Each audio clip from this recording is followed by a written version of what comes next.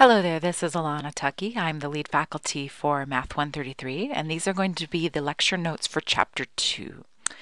Now, just a heads up about what Chapter 2 is about. Chapter 2 is going to be a lot of making tables and charts, graphs, that kind of thing.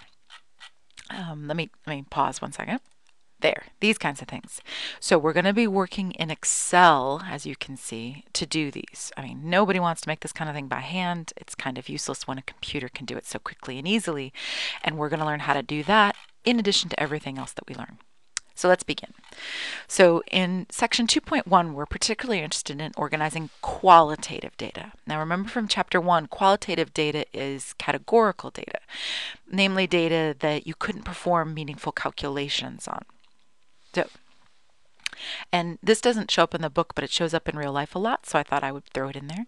This following is a pictograph. It came from the Ryan plan, um, which was a budgetary plan. If you're interested, you can click on the link.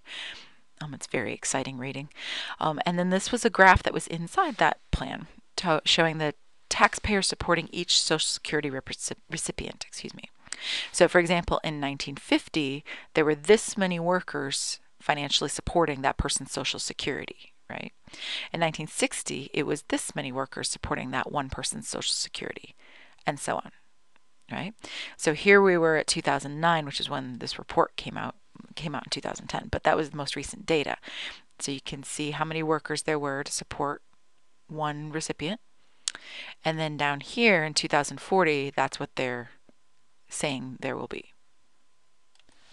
So the first question is how many workers per Social Security recipient was there in 1950? So in 1950, for every one worker that was receiving Social Security, there was 1, 2, 3, 4, 5, 6, 7, 8, 9, 10, 11, 12, 13, 14, 15, 16, I don't know, 16 and a half maybe? So about 16.5. What about 2000? In 2000, it was only one, two, three and a half or so, about 3.5. Now, there are a couple disadvantages to making pictographs. You can probably see what that big problem is. Like, do I really know if this is 16 and a half or 16.7? You, don't really know. So, um, pictographs do not um, allow for easy understanding of fractions or decimals.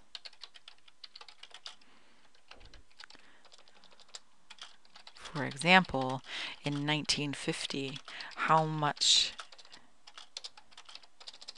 is that last figure that is cut?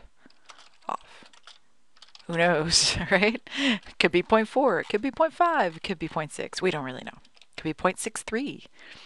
Um, are there any positives, any upsides to using a pictograph? Well, that's debatable, but ooh, you know what? Let me hold on one second.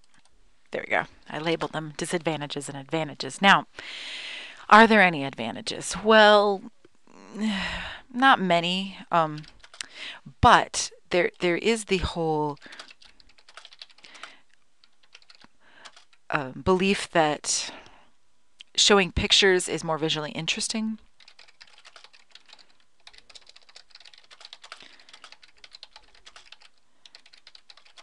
and can um, relate the graph to the human experience more than just you know a pie chart for example um, so there's a famous paper about this that basically if you're talking about people then showing pictures of people kind of helps the the reader relate what's going on to the real life human condition.